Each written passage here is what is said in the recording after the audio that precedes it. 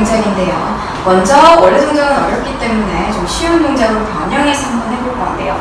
자, 손가락이 앞쪽을 보게 손바닥 짚어주시고 마시고 내쉬는 호흡에 엉덩이를 천천히 들어올려 어깨, 골반, 무릎이 일직선이 될 수 있게 이때 목이 안으로 들어가거나 어깨가 말리지 않게 활짝 열어주시고 왼쪽 발 table top stretch 그대로 후 마시면 up 내쉬면 up 이때 엉덩이가 떨어지거나 어깨가 말리지 않게 두 번만 갈게요. 후, 엉덩이 up 오른발 table top stretch down. 후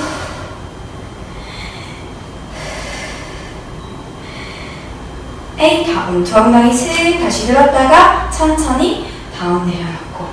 이번에는 오리지널 동작으로 두 다리를 펼쳐서 마시고 내쉬며 엉덩이를 up. 자 이때 모든 back muscle이 쓰여지죠. 엉덩이, 햄스트링, 그리고 길이끝, 등 뒤쪽을 열어주는 능량 끝까지.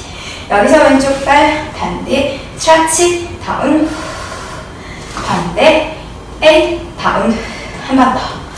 one, 에이,